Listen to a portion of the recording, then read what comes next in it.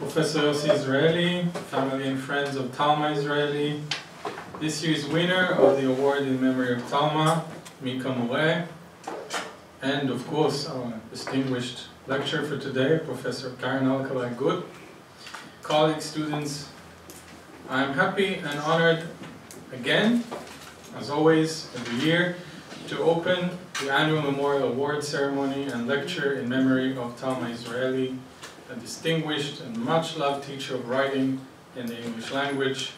of eloquence and of academic excellence, a lover of eloquence in all of its forms, who set an illustrious standard for generation of students in the Department of English and American Studies.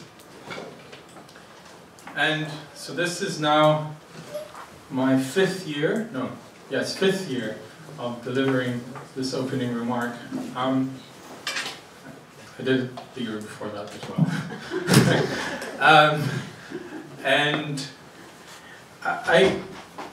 in the past years, um, I always felt it was important, um, and I think it's reiterated to me every year when I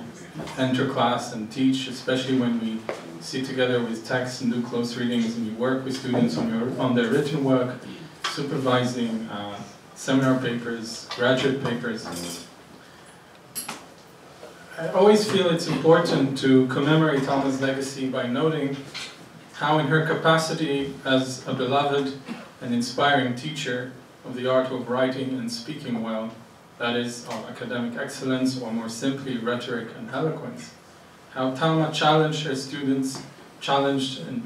a full uh, meaning of the, in the term intellectually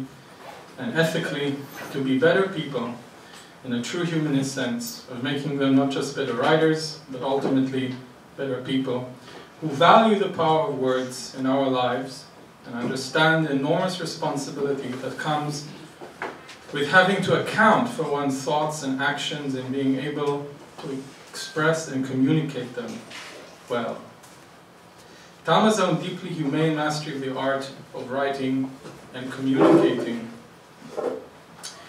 enabled her to lead generation after generation of students who chose the path of writing on the English language and its rich literatures by mastering themselves the art of English eloquence, making it their own. All that Talma ever asked in return from her students was that in devoting themselves to acquiring the art of rhetoric, they would be as devoted as she was to transmitting that art. For she utterly was devoted to her students, dedicated completely and uncompromisingly to the teaching of writing, of excellence, of eloquence in excellence, and in composition in English language, which she saw as her life's mission. And it is, of course, always particularly in the last two years, well, to remind ourselves of Talma's legacy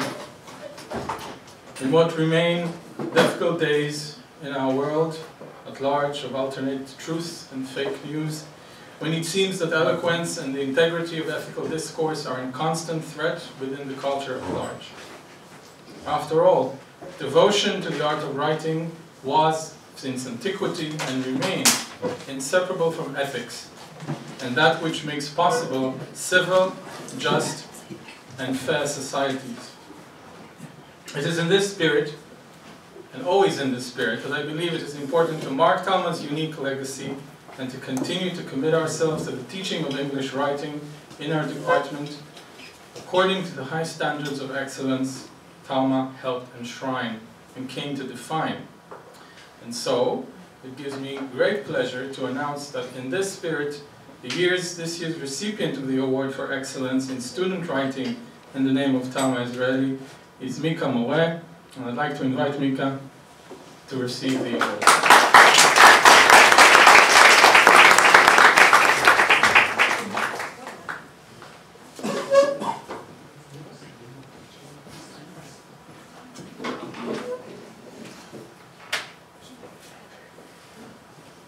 Thank you very much. Um, I'm very honored to have been selected by the committee and would like to say thank you for Talma's family and dedicate the money that has been awarded to me to advance my academic studies. Thank you.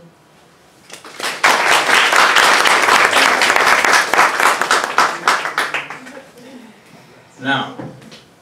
special event this year. This year's lecture in memory of Talma Yzraely will also be delivered by one of her friends. We're of course honored, and this speaker needs no introduction, but I'll still give her an introduction. Um, we are more than honored, delighted, uh, and thrilled, in fact, to uh, host our very own um, Professor Emerita, Poet Laureate, rock star, Professor Karen Alkalay who will be sharing with us some of her recent research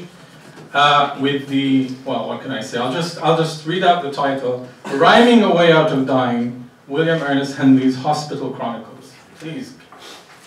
And I'll talk this- Thank you.